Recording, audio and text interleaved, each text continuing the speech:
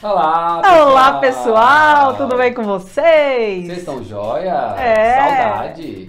Ah, hashtag saudades forever. Nós estamos aqui hoje para mais uma aula de tan, tan, tan, tan, tan, ecologia. Ah, e para você que fala que não gosta de ecologia, é porque você não teve aula de ecologia com a gente. É né? porque você não vive, porque tudo é ecologia, tudo é interação entre os seres vivos. Você não existe sozinho nesse mundo. Então preste atenção nessa aula que você vai olhar para as coisas e falar assim: hum, ecologia, olha aquilo, olha, ecologia. E hoje nós vamos falar de relações entre indivíduos. Podem ser da mesma espécie ou não. Se você não assistiu nossa aula de relações intra e interespecíficos Harmônicas. harmônica, você vai pausar e vai assistir a aula de relação harmônica, porque hoje nós vamos falar de relações Desarmônicas! se é relação desarmônica, significa o quê, Renata? Que pelo menos um indivíduo vai ser prejudicado nesse relacionamento. Exatamente. Enquanto na relação harmônica, ninguém era prejudicado. Alguém ia ganhar sempre e o outro ia ficar neutro. Nesse caso, alguém sempre vai perder. Não acho que quem ganhar ou quem perder, nem quem ganhar nem, per- nem perder, vai ganhar ou perder. Vai todo mundo perder. É como se fosse um relacionamento abusivo. Sempre um vai Exato. sair perdendo e o outro faz pressão psicológica. Cuidado, hein? Nossa, é experiência própria? Você pode estar vivendo ecologia na sua vida. e não tá sabendo, presta atenção. Então, pessoal, se você quer assistir a aula de relações ah, desarmônicas, fica com a gente e puxa a vinheta.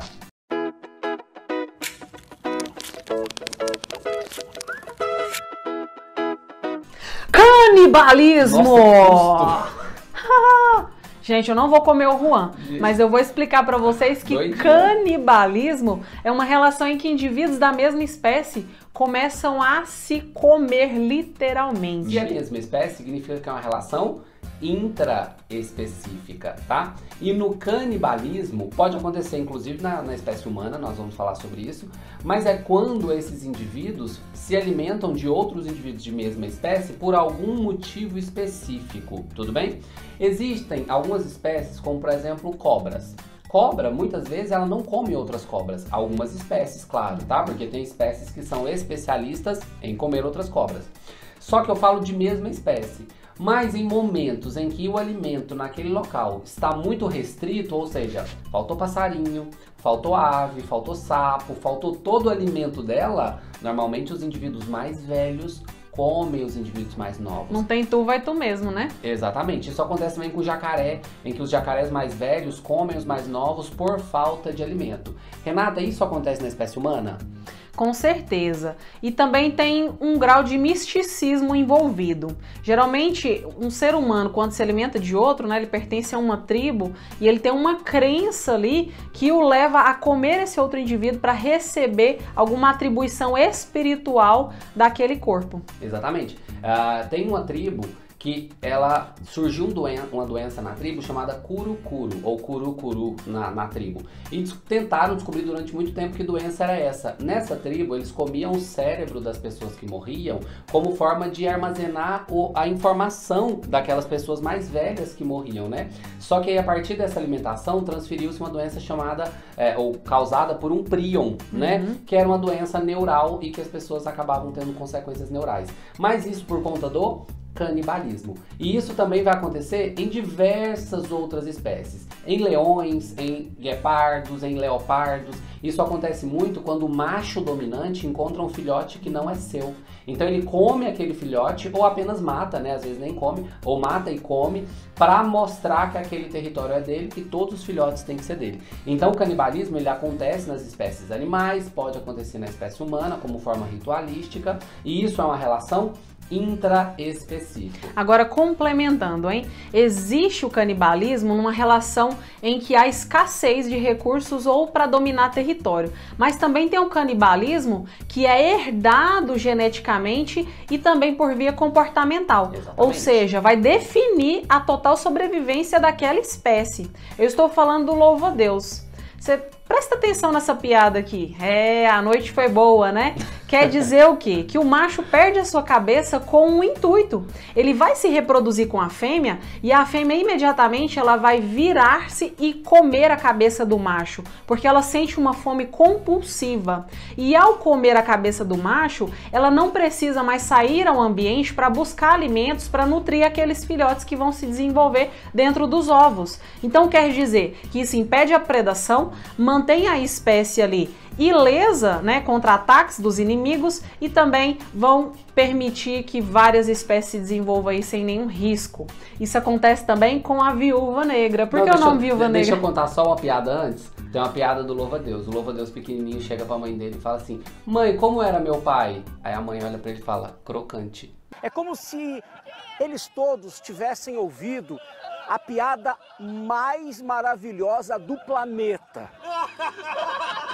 Hum, que delícia! Agora vamos para a viúva negra.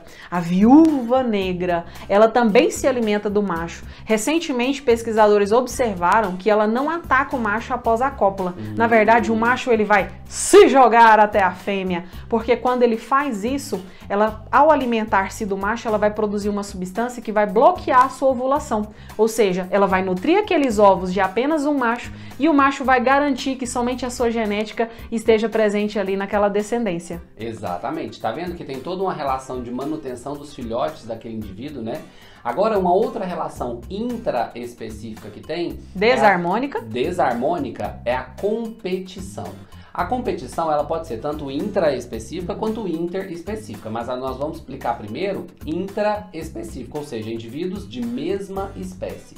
Na relação desarmônica competição intraespecífico, o que, que acontece? Os indivíduos da mesma espécie competem por um mesmo recurso. Qual recurso é esse? Pode ser território, pode ser fêmea, pode ser água, pode ser alimento. Qualquer um desses resulta na competição entre indivíduos. E a gente não precisa pensar exclusivamente no leão, em que o leão briga com outro por conta das fêmeas ou por conta do território, não é? A gente pode pensar em animais menores, né? Por exemplo, aquele, aquele besorrinho que é o rola bosta, né? Que vai rolando ali o cocôzinho da Se vaca. Se rola bosta, ele rola o quê? Bosta, né? É o cocôzinho da vaca ali, eles também têm uma competição entre os machos, né? Uma luta ali entre os machos para fazer o processo de, de, acasalamento com as fêmeas, né? Lagartos também apresentam essa competição, pássaros, só que os pássaros não vão realmente bater, partir para a briga, né? Qual que é a briga deles, a competição deles? Eles ficam dançando ali, né? Então dá uma olhada nesses pássaros aqui da das aves do paraíso. Das aves do paraíso, obrigado, isso mesmo. Olha como os machos ficam dançando, fica hein? dançando para trás, assim, né? É, fazendo um moonwalk, né? Tentando mostrar para a fêmea. Por mais que não aconteça um processo de realmente conflito, de morte, é uma competição por quê? Porque existe gasto energético. Uhum. Se um indivíduo por mínimo que seja, ele está competindo e gasta energia para ter aquele benefício, isso é resultado de uma competição. Tudo uhum. bem? Agora vamos para a interação desarmônica interespecífica entre as espécies diferentes. Existe também a competição entre espécies diferentes, também por recursos que vão manter a sobrevivência dele. Uhum. Dá uma olhada aqui. Aqui nós temos duas espécies de herbívoros, eles estão competindo por um alimento comum. Então, essa competição, ela vai ter o intuito de manter a sobrevivência de um quando os recursos são escassos. E sempre um vai ter mais vantagem do que o outro, né, Juan? Exatamente. Então, voltando aos grandes mamíferos, né? Quando a gente tem, por exemplo, uh, um leão tentando ou correndo atrás ou expulsando do seu território é, um, um, leopardo, né? Ou uma hiena. Uma hiena. Esses animais são herbívoros, né? Então, por mais que sejam de espécies diferentes, o alimento deles é a carne. Então, eles vão competir entre si para lutar por aquele alimento. Existe gasto energético, mas além disso, pode existir a morte do animal que perder essa competição quando a gente fala desses grandes animais, né? Então os grandes animais, dependendo da situação, ainda pode matar o outro animal, né? E pegando esse gancho, já que nós estamos aqui na selva africana, vamos falar da relação de predatismo. Hum. Ou seja, existe a relação entre o predador e a presa. Adivinha quem vai sair prejudicado? Alguém tem que perder nesse momento, né? Uhum. Quem está sempre perdendo? A, a presa. presa. Qualquer coisa que seja, gente, qualquer uma. Pode ser o passarinho comendo a lagarta. Ele é o predador? Ela é a presa. Então, nesse caso, um está em vantagem e o outro, né, vai estar em desvantagem. Por quê? Porque ele vai acabar morrendo, perdendo partes do seu corpo, né? Por exemplo, muitas vezes os tubarões tigre, é, eles conseguem arrancar tentáculos dos polvos para se alimentar e o polvo consegue se esquivar ou sair o corpo todo, mas um tentáculo foi embora. Assista o filme O Professor Polvo, você vai chorar. Chorei, chorei assistindo, é maravilhoso. Então, isso é um processo de predação que perde um pedaço do corpo do animal, não é? Predou, predou. O outro animal morreu? Não, mas ele ficou. é, levou a algum tipo de perca no- na estrutura? Sim. Então, isso acaba acontecendo. Existe a relação também chamada parasitismo. Hum. Parasitismo, nós temos o hospedeiro e o parasita. Adivinha quem sai perdendo essa paradinha? O hospedeiro. O parasita sempre vai retirar um recurso daquele organismo e vai prejudicá-lo de alguma forma. Pode levá-lo à morte, como o caso de infecções de doenças graves, né? A Covid-19 pode matar algumas pessoas, tem doenças bacterianas letais, como por exemplo tétano, tem o vírus da raiva. Então são parasitas que matam. E também tem os parasitas que não matam, como é o caso da maioria das verminoses, né, Juan? Só que existe uma diferença. Endoparasitas, eles estão dentro do hospedeiro retirando recursos, matando ou não esse indivíduo. Os ectoparasitas, eles estão externamente àquele hospedeiro retirando recursos. É o caso de pulgas, carrapatos, Tudo isso é parasita, né? Uhum. E fica ali de alguma maneira. Então, um ponto marcante do parasitismo é ele vai de alguma maneira causar alguma perda no indivíduo. Obrigatoriamente ele vai matar? Não. Mas ele pode causar uma doença, ele pode causar uma lesão, ele pode causar alguma coisa. Se causou, é parasitismo. Agora, como última relação, nós temos uma maravilhosa que eu adoro falar sobre ela, que é o amensalismo. Muita gente não sabe, alguns livros didáticos não apresentam, né? Vem faltando Uhum. amensalismo, não sei porquê, porque é uma das mais legais. E nós, atualmente, só sobrevivemos ou temos uma população humana tão grande porque foi descoberta uma relação de amensalismo muito importante, Olha não foi? só, rapaz. Ah, qual relação foi essa, Renata? A relação entre fungos e bactérias foi descoberto por um acidente de laboratório. Nosso querido Fleming, ele estava ali cultivando bactérias em placas de Petri e acidentalmente ele deixou uma se infectar por fungos da própria atmosfera. Fungo penicilina, ou seja, esse fungo começou a liberar toxinas que matavam as bactérias da colônia. Exatamente. E aí ele descobriu que esse grupo de, de fungos, né, que era o penicillium, produzia penicilina, o que combatia a bactéria. A partir desse momento, vocês não têm noção o que aconteceu. A população humana fez isso aqui. Por quê? Porque ninguém morria mais de doença bacteriana. Então começou a aumentar em grande quantidade. Uma outra coisa que eu adoro do amensalismo é o seguinte. Foto de casamento. Sabe qual tipo? No eucalipto, na plantação de Hum, Ai, eucalipto. que lindo! Sempre tem que ter, gente. Se você fosse casar, vai pro meio da plantação. de eucalipto. Quando você entra numa plantação de eucalipto, se você nunca foi, dá uma olhada nessa imagem aqui.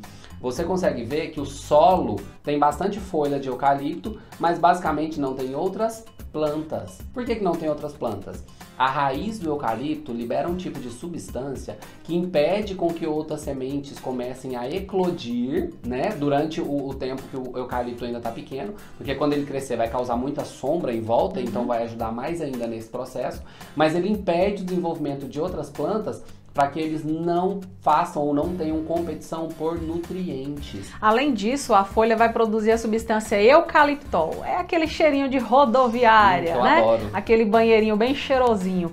Então, o eucaliptol é um óleo essencial muito forte para impedir o crescimento de outras espécies de plantas. Por isso que muitas vezes muitos cientistas agora já falam sobre florestas de eucalipto como deserto verde. Por que, que é um deserto verde? Porque você Uhum. Nada vai ter cresce ao redor. um único tipo de planta. Então você plantou aquilo ali, ela vai crescer, só aquele tipo de planta ali. E é? para fechar, nós vamos falar do fenômeno incrível chamado maré vermelha, que é produzido Hum. por algas vermelhas, Juan. Exatamente. Não! Não, quais são? São os dinoflagelados! Ah, presta atenção. É, presta atenção.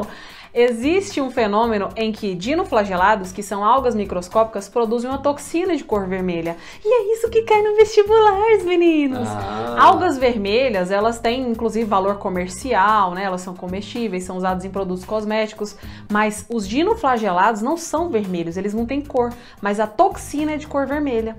Na sua prova pode cair que algas vermelhas provocam a maré vermelha.